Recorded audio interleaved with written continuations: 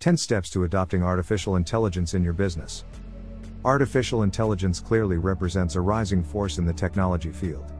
AI takes center stage in conferences and shows promise across a wide variety of sectors, including retail and manufacturing.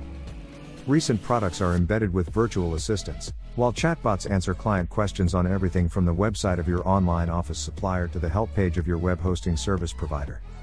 10 Steps to Adopting Artificial Intelligence in Your Business. Familiarize with AI. Clean your data. Makes concrete value a priority. Implement your AI plan. Bring in experts and put together a pilot project. Identify problems you would like AI to solve. Apply AI to a small sample of data. Set AI as a part of your daily tasks. Recognize the internal capacity gap. Build with balance.